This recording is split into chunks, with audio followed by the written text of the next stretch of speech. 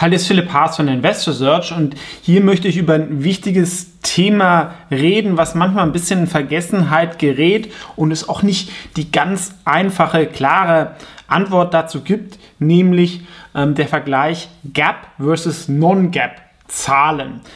Bei vielen Firmen unterscheidet sich das nicht so stark oder die Grundidee ähm, dass man Non-Gap-Zahlen ausweist und sich auf diese fokussiert, macht Sinn. Nochmal ähm, zum Verständnis, also GAP steht für General Accepted Accounting Principles, also so übersetzt generell akzeptierte äh, Buchhaltungsregeln bei US-Firmen. Die sind aber manchmal nicht ideal, um den wahren Gewinn einer Firma ähm, zu sehen. Weil es kann ja einmalige Ereignisse geben, zum Beispiel eine Übernahme, wo es einmalige Kosten gibt oder auch einmalige Gewinne, wenn ich ein Tochterunternehmen verkaufe. Dann verbuche ich das ja in der Buchhaltung als Gewinn. Ja, wenn ich damit 10 Millionen Gewinn mache und meine normale Firma macht nur 5 Millionen, dann habe ich in dem Jahr 15 Millionen.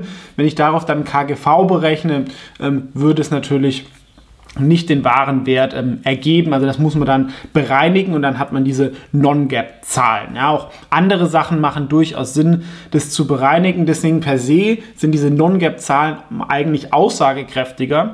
Das Problem ist nur, dass vor allem in der USA das Thema Aktienvergütungen in diesen Non-Gap-Zahlen ähm, nicht drin ist oder oft nicht drin ist. Das ähm, ist auch nicht ähm, immer ganz klar. Das muss von den Portalen, ja, welche Gewinne da ausgewiesen werden. Bei großen Firmen ähm, und profitablen Firmen unterscheidet sich das nicht so. Ja, bei, bei einigen Tech-Aktien gibt es da sehr, sehr große Unterschiede.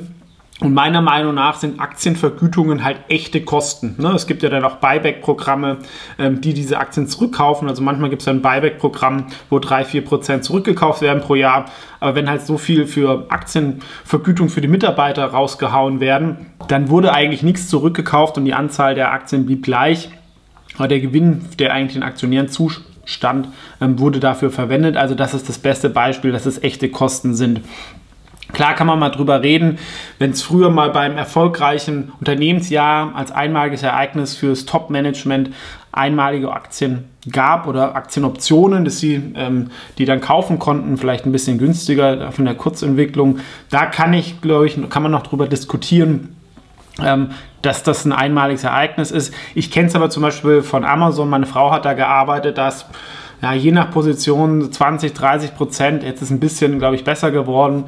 Ähm, teilweise der Gehaltsbestandteile waren Aktien. Ja, das normale Gehalt war wirklich nicht gut, aber wenn die Aktien sich dann gut entwickelt haben, dann war es halt als Paket ähm, sehr, sehr gut. Und das Argument dafür war natürlich, deswegen schauen auch gerade viele gern bei Tech-Aktien auf irgendwie EV, EBITDA oder EV Free Cashflow, weil natürlich diese Aktienoptionen, die ich rausgebe oder Aktienvergütung, die sind nicht cashwirksam. Also eine Firma geht deswegen nicht pleite.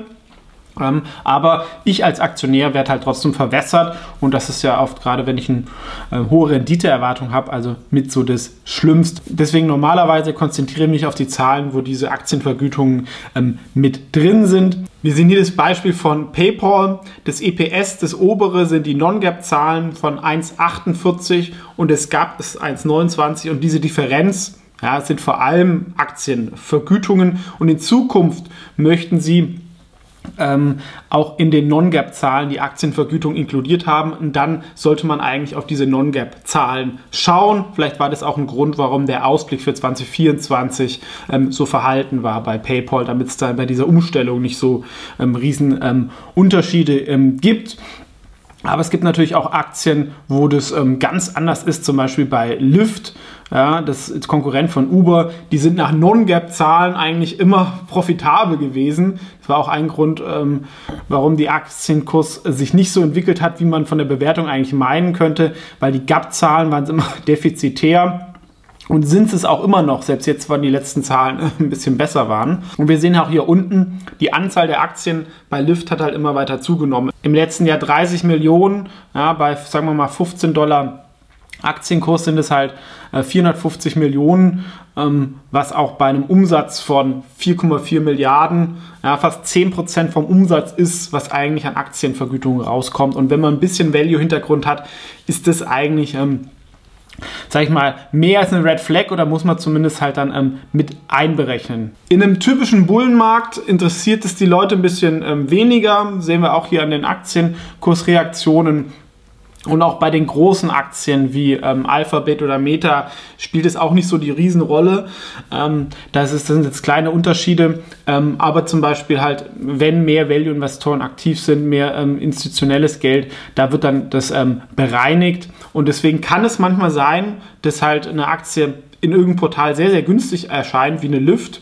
Ja, die war, hat man irgendwie beim 15er KGV getradet. Dafür wäre sie eigentlich ähm, im Verhältnis zu Uber ein ähm, klarer Kauf gewesen, aber wenn man es halt um die Aktienoption bereinigt, dann halt nicht mehr. Deswegen ähm, gibt es manchmal auch Unterschiede zwischen den Portalen, weil die einen halt dann die Non-Gap- oder Gap-Zahlen nehmen ähm, und das ist etwas, was ihr ein bisschen im Hinterkopf ähm, behalten solltet, ähm, aber kommt natürlich auch immer auf die Ansichtssache an, ob ihr Aktienvergütung als echte Kosten seht. Es ist zuletzt besser geworden, also ist auch etwas, worauf die Tech-Aktien ähm, mehr achten, auch in Zukunft, dass das nicht mehr so rauskommt rausgehauen wird. Ähm, wie davor, auch wenn ich Mitarbeiter ähm, ähm, abbaue, dann kann ich da was sparen und es wird auch, glaube ich, transparenter ausgewiesen. Und da hat eine Besserung stattgefunden, aber vor zwei, drei Jahren gab es halt schon, finde ich, viele Exzesse. Ähm, und da wurde halt dieser Grundgedanke, dass ich mich auf die bereinigten Zahlen ähm, fokussiere, was ja eigentlich richtig ist. Ne? Weil es gibt ja auch, glaube ich, bei Amazon das Beispiel, die haben irgendwie eine Beteiligung an irgendeiner börsennotierten Firma, wenn die sich verdoppelt oder halbiert, dann wird das immer den Gewinn immer ausgewiesen da, es, es, macht natürlich wenig Sinn, ähm, dass ich darauf dann meine Zahlen oder Multiple verwende. Also per se ist es schon wie richtig auf die Non-Gap-Zahlen zu gehen, aber es sollte halt ähm, keine zu großen Aktienverbesserungen sein.